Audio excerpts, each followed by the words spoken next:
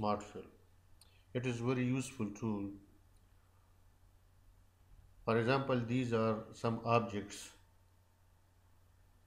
And we want to fill colors in portions of these uh, objects. For this purpose we can use smart fill just click on smart fill and then for example I want to fill this area. Just click on it and you can also change colors from here also. I want this area. Click on it. I want this area.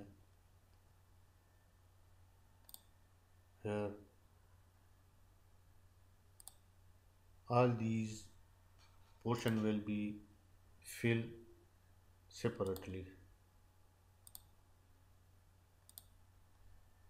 Now the interesting thing is that by filling smart fill in these objects the original object is there. So we have to select these smart fill objects click an object then hold down shift key and click on the other objects also. By this we can select all the objects at once. Now you can see this object was not selected we have to select this one also.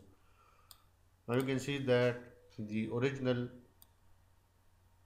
object is there and this object has been created by the help of shape tool and these objects are in parts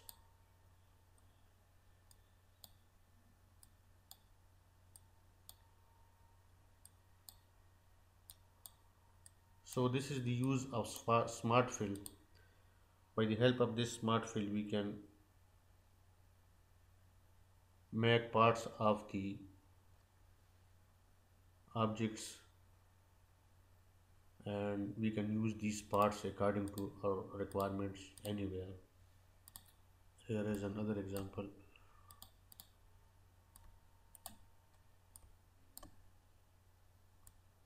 I want this area click on smart fill and now I can easily and I can use